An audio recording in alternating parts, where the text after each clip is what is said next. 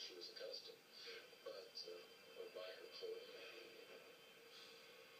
I think I was coming apart the seams. Maybe she saw it, maybe didn't understand, you know, what I was going through. Throughout the summer, uh, Diane and I corresponded less and less.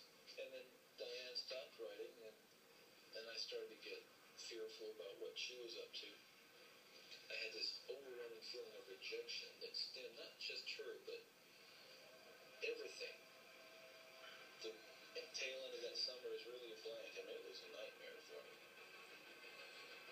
Somewhere uh, was a desire to have some sort of revenge on Diane. But for the end of